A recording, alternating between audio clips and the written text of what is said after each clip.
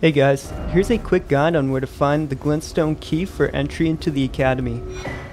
When you come to the academy gates, you'll find a simple map of a mysterious meeting place. If you go into your inventory, you'll see the map in an unknown location. If you're like me when I was at this point, you won't have your map world visible here. So that makes things a little more difficult, but worry not, I'll show you exactly where to go.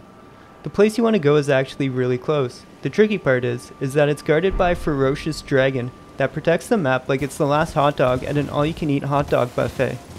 The dragon will be sleeping and you don't need to defeat him to get the key.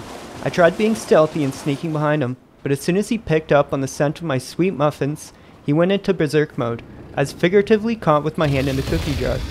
I did the only reasonable thing and made a mad dash for the key, followed by a brilliant escape that Houdini himself would be impressed with.